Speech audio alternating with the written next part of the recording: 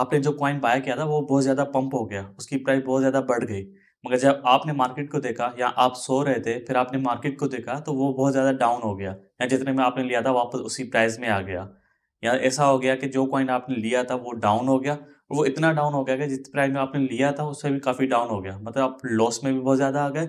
और जब ऊपर हो गया कॉइन जब आपको सेल करना चाहिए था, क्योंकि बार बार तो आप अप्लीकेशन को नहीं दे सकते, खोल के बार बार तो जब आपने कॉइन को देखा तो वापस उसी प्राइस में आ गया।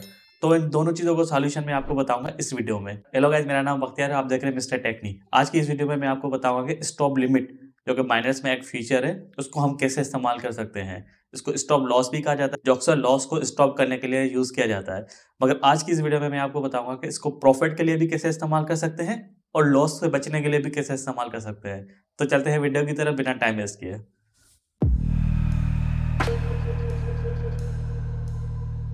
तो सबसे पहले मैं आपको बताऊँगा कि स्टॉप लिमिट को हम प्रॉफिट के लिए कैसे इस्तेमाल कर सकते हैं। तो सबसे पहले एप्लीकेशन खोले आप। तो ये मैंने बाद बाइनेंस की एप्लीकेशन ओपन कर ली और यहाँ पे जाते हैं वॉलेट में स्पोर्ट में। ठीक है, ये सारे कॉइन जो मैंने बाय किए हुए हैं। अब फॉर एग्ज़ाम्पल मैंने बाय किया हुआ है बी एन बी अब बी एन बी पे चलते हैं। ठीक है। अब ये कॉइन मैंने परचेस किया था जब ये था तीन सौ डॉलर का। ठीक है, अब इसकी प्राइस है तीन सौ चार। अब मैं चाह रहा हूँ कि जब ये तीन सौ बीस पे आए तो एक ऑर्डर लग जाए कि अगर ये तीन सौ बीस के बाद वापस तीन सौ पंद्रह पे आता है तो ये सेल हो जाए। तो इसमें क्या होगा, जब ये मैंने तीन सौ डॉलर में लिया था, अब ये तीन सौ बीस पे अगर आ गया तो यहाँ पे एक ऑर्डर लग गया तीन सौ पंद्रह पे सेल होने का। तो अगर तीन सौ बीस से ऊपर भी चला गया तो मेरा प्रॉफिट ही बन, बनता रहेगा। तो मैं जब चेक करूँगा, उसको दोबारा मैं अपनी प्राइस को अपडेट कर सकता हूँ सेल कर सकता हूँ। मगर इन केस अगर तीन सौ बीस से वो और डाउन होता जा होता गया होता गया, वापस तीन सौ पे आ जाए तो उससे बेहतर ये है कि मैंने एक ऑर्डर लगा दिया, तीन सौ बीस पे आते ही अगर वापस तीन सौ पंद्रह पे आता है तो वो सेल हो जाए। कैसे होगा? मैं आपको दिखाता हूँ करके। आपको यहाँ पे सिलेक्ट करना है स्टॉप लिमिट ठीक है? स्टॉप में आपको यहाँ पे लिखना है कि ये कितने तक आए तो एक ऑर्डर लग जाए सेल होने का। अब मैं इसको बोलता हूँ, भाई, ये 320 पे आए तो यहाँ पे एक ऑर्डर लग जाएगा कि ऑर्डर क्या लगेगा कि यहाँ पे जो मैं प्राइस लिखूँगा कि 315, 317, 318 पे ये सेल हो जाए। मैं इसको लगा रहा हूँ 315 पे। ठीक है जैसे 320 पे आया एक ऑर्डर लग गया सेल होने का 315 पे। कितना सेल होना चाहिए? ट्वेंटी फाइव परसेंट हो हंड्रेड परसेंट हो कितना हो? मैं बोलाऊँगा हंड्रेड परसेंट ही सेल हो जाए यहाँ पे। अगर तीन सौ बीस पे आता है फिर तीन सौ पंद्रह पे सेल हो जाए। ठीक है, मैं यहाँ पे इसको करता हूँ सेल पीएनबी ठीक है, यहाँ पे ये बता रहा है अगर पीएनबी तीन सौ बीस पे आया तो एक ऑर्डर लगेगा सेल का। सेल कितने होंगे बीएनबी मैंने हंड्रेड परसेंट बोले तो यहाँ पे हंड्रेड परसेंट ही दिखा रहा है जितने आए हैं, जितने हैं मेरे पास। हंड्रेड परसेंट बी का, और वो सेल होंगे at the price of three hundred fifteen USD पे।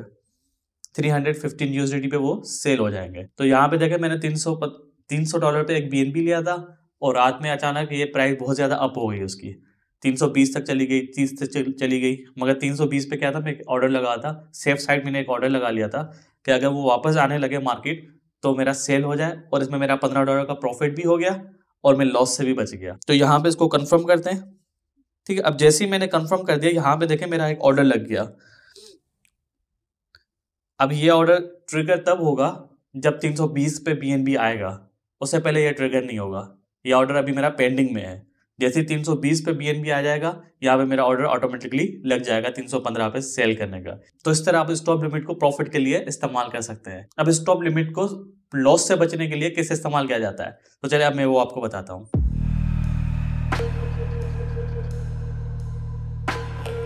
अब दोबारा आ गए बी पे, जो मेरे पास क्वाइन है अभी करंटली और यहाँ पे हमने सिलेक्ट कर लिया स्टॉप लिमिट अब बीएनबी मैंने तब लिया था जब इसकी प्राइस थी तीन सौ डॉलर और अभी इसकी प्राइस चल रही है तीन सौ। अब मैं चाह रहा हूँ फॉर एग्ज़ाम्पल मैं सो गया या मैं मार्केट को नहीं देख रहा और प्राइस अचानक से बहुत ज़्यादा डंप कर जाती है डाउन हो जाती है प्राइस और वो इतनी डाउन होती जा रही होती जा रही है कि मैं बहुत ज़्यादा लॉस में जा रहा हूँ।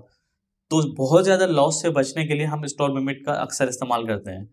फॉर एग्ज़ाम्पल मैं इसको बोलता हूँ, अगर ये दो सौ नब्बे पे आ जाता है, ठीक है, दो सौ नब्बे पे आ गया तो ये उसके बाद एक ऑर्डर लगे कि अगर उससे भी नीचे आ रहा है, दो सौ नब्बे से और भी ज़्यादा नीचे आ रहा है, आपको लग रहा है कि दो सौ नब्बे पे अगर ये आया तो और ज़्यादा नीचे चला जाएगा। तो यहाँ पे एक ऑर्डर लगा दे। टू हंड्रेड एटी एट पे मेरे सारे बी जो है वो यहाँ पे सेल कर दे, क्योंकि मुझे लग रहा है कि उसके बाद ये बहुत ज़्यादा डाउन चला जाएगा। अब यहाँ पे कुछ भी लिख सकते हैं, एटी कर सकते हैं, एटी फाइव कर सकते हैं, जितना भी आप यहाँ पे लगाना चाहते हैं, वो आप ऑर्डर यहाँ पे लगा सकते हैं। अगर वो ऑर्डर तब लगेगा जब यहाँ पे दो सौ नब्बे पे आ गया बीएनबी उसके बाद एक ऑर्डर लगेगा। फिर मैंने जो यहाँ पे प्राइस लगाई लगाई होगी, उस प्राइस पे ये आके सेल हो जाएगा।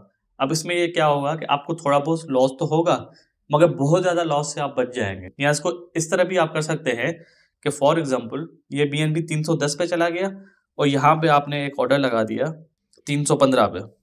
तीन सौ दस पे चला गया, फिर आपने यहाँ पे ऑर्डर लगा दिया तीन सौ पाँच पे। अगर ये तीन सौ दस से वापस आने की करता है आप मार्केट को देख रहे हैं और आपको लगता है कि वापस भी आ सकता है तो वहीं पे देखते हुए आप उसको एक ऑर्डर भी लगा सकते हैं। भाई, तीन सौ चार पे अगर आए तो मेरा सेल हो जाए। तीन सौ पाँच पे ऑर्डर लगेगा, चार पे सेल हो जाएगा। तो इस तरह हम लॉस से बचने के लिए भी स्टॉप लिमिट का इस्तेमाल करते हैं। उम्मीद है आपको समझ आया होगा। नेक्स्ट वीडियो में मैं आपको बताऊँगा कि लिमिट ट्रेलिंग स्टॉप ओसीओ को कैसे इस्तेमाल करते हैं। तो चैनल को सब्सक्राइब कर लें सारी वीडियोस देखने के लिए। तब तक के लिए अल्लाह हाफिज।